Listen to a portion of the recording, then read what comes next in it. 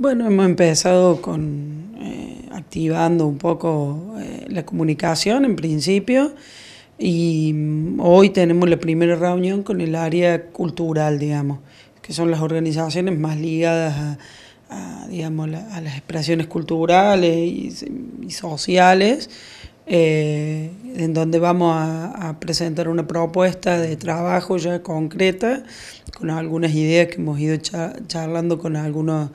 eh, secretarios y, representantes de algunos programas, eh, bueno, y con la Federación Universitaria, como para ir, eh, bueno, ya empezando a trabajar en, en base a las demandas que,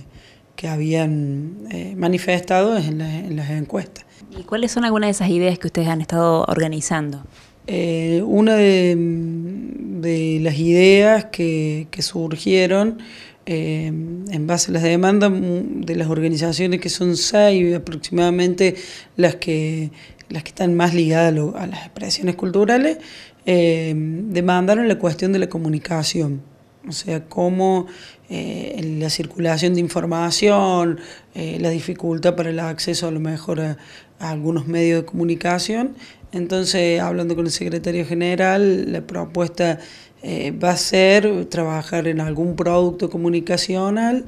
que después se pueda estar transmitiendo por la televisión, la radio o,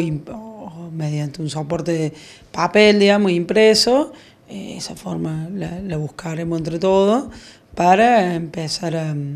bueno, expresar desde eh, con una agenda cultural más territorial o el enfoque ese es la idea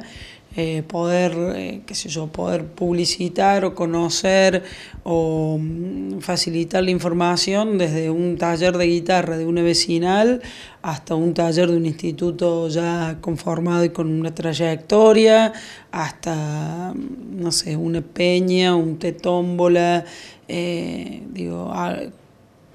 cualquier expresión cultural que se desarrolle por ahí más territorialmente, que a lo mejor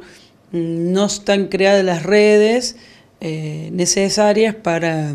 para que esa, esa, información de esos talleres, de esas expresiones circule. Entonces, bueno, un poco también es juntarnos para también que la, información empiece a circular entre los propios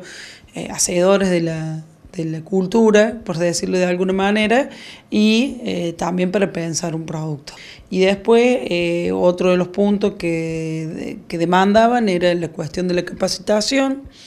y a través de la Unibarrial se va a presentar una propuesta de gestión cultural y comunicación, y se le va a poner a consideración para que hagan los aportes, y a través de, del programa de Universidad Barrial se puede ejecutar un curso anual.